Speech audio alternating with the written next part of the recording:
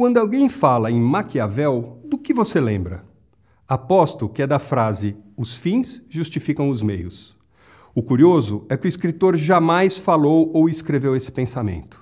Na verdade, essa é uma interpretação dos escritos de Maquiavel em seu livro mais famoso, O Príncipe, escrito em 1513.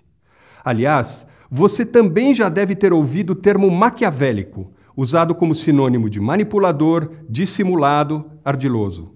Mas uma leitura cuidadosa desse livro, que é um dos maiores tratados políticos já escritos na história, revela que Maquiavel tinha uma visão extremamente prática do que um governante deve fazer para se perpetuar no poder de forma legítima, sem golpes ou falcatruas.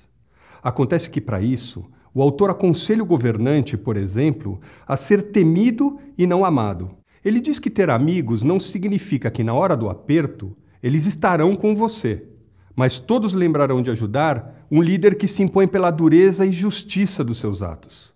Ele também diz que quem governa deve cuidar de suas finanças para não parecer um gastador, enquanto o povo passa dificuldades. Além disso, ele deve manter os bajuladores distantes e controlar a ferro e fogo os conselheiros.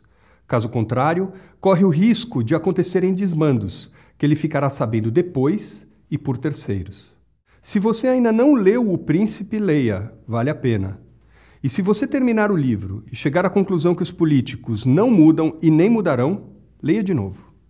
As comparações com os dias de hoje são inevitáveis, mas não são o que importa. Preste atenção aos ensinamentos que levam um líder a reforçar sua legitimidade, ser respeitado e visto como justo e firme.